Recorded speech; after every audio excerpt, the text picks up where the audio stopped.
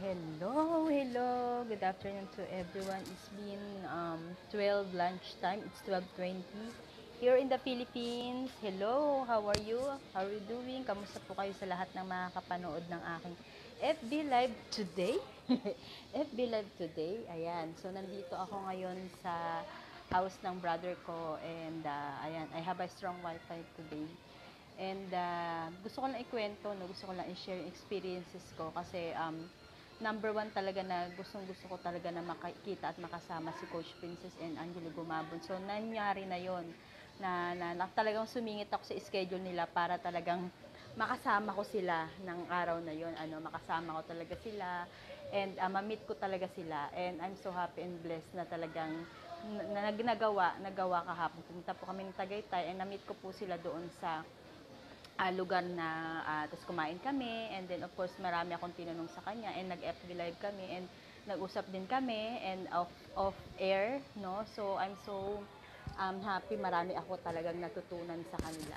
Marami akong um, natutunan sobra. And ayan pinost ko na po yung aking uh, ano pinost ko po yung aking um, uh, mga comment or opinion about uh, what happened yesterday and so ha- happy no? So by the way kung ngayon mo pa lang ako na papanood my name is Rosin Lusong Martinez and I'm here sa Pilipinas dating OFW um, isang OFW sa Kingdom of Saudi Arabia and um, I just waiting no? Nandito ako kasi uh, kasama ko yung yung ano ko yung mama ko no? So uh, nandito kami ngayon sa house and uh, of course it's a uh, it's um Pasko na no? So the presence of Christmas.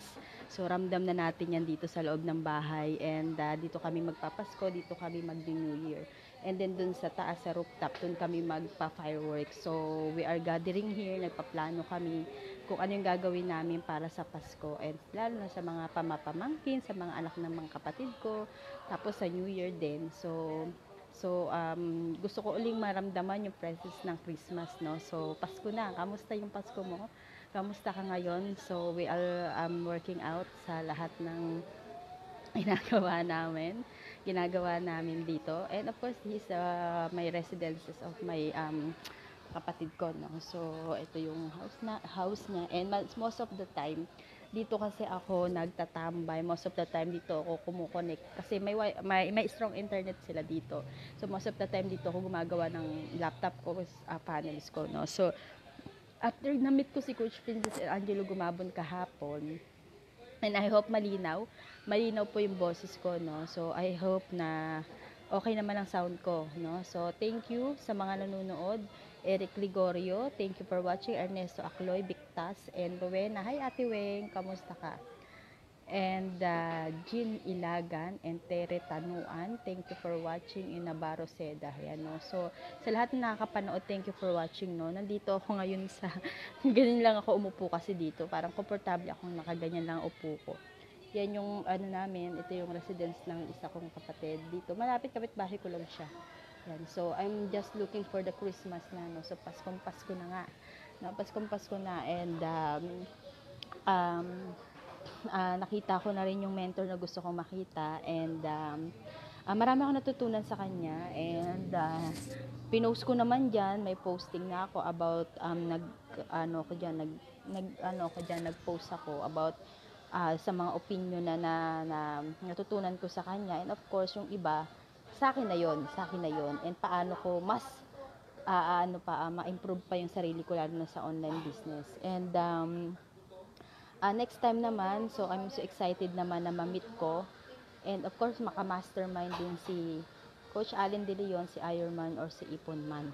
Okay, na tinatawag. So, kachat ko siya ngayon. So, you know, um, if you want to be talagang mag-improving at level up sa sarili mo, kailangan talaga makipag-meet ka sa mga mentor and coaches na talagang tumutulong sa'yo para talagang uh, mas talagang maramdaman mo, makita mo talaga kung paano din sila naging successful o paano nila nakukuha yung ganong resulta ng income So, hindi lang nasa online, mas maganda personally din ma-meet mo para ma-witness mo rin kung ano talaga behind the back doon sa videos na mga ginagawa nila, paano nila ginagawa yung kanilang mga business tools and yon.